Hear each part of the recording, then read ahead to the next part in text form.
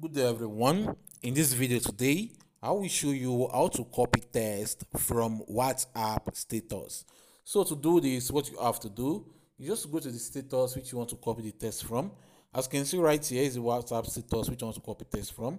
So the next thing for you to do is just for you to screenshot this status which you want to copy. So let's just screenshot right now.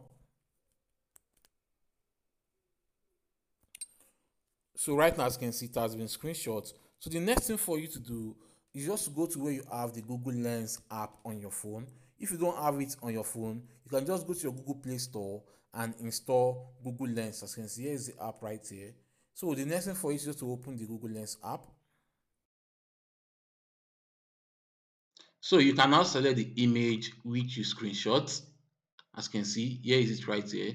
So align the text in the image which you screenshot just press it down then you drag it as you can see then you to select those text so when done you can then click on copy text as you can see copy text which has been copied so let's go to whatsapp or anywhere and paste the text which you copied let's just paste it right here long press then you click on paste as you can see I've just copied and paste WhatsApp status. So that's all to do this. Hope this video helped. Please give it a thumb up and don't forget to subscribe to our YouTube channel.